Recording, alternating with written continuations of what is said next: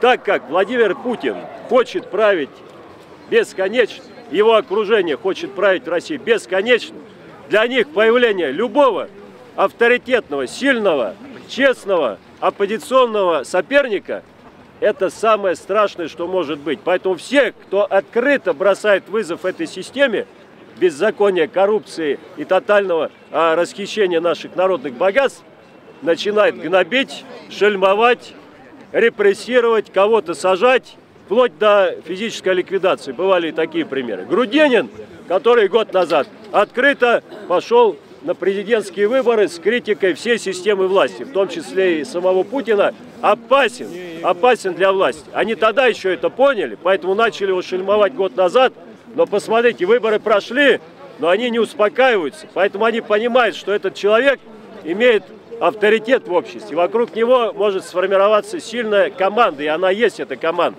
И дать ему статус депутата, в их понимании, это опасно.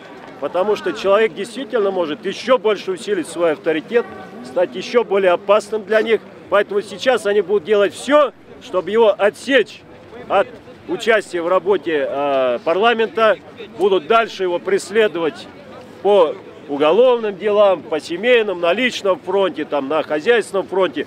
Мы должны его сегодня защищать. Вообще оппозиция должна друг друга защищать. Гнобят-то многих. Я с этим сталкивался на личном примере, многие другие. Порой не хватает солидарности, взаимопомощи. Надо помогать, надо защищать и на уличных акциях, и в судах, и Павла Грудинина. Сегодня мы говорим, руки прочь от Павла Грудинина, в обиду его не дадим. Он должен быть депутатом, это беззаконие, абсолютно искусственные, надуманные причины. Вот, для меня это совершенно очевидно. Поэтому главное понять, в такой ситуации только наше сплочение, только наше единство может а, преодолеть всю эту ситуацию.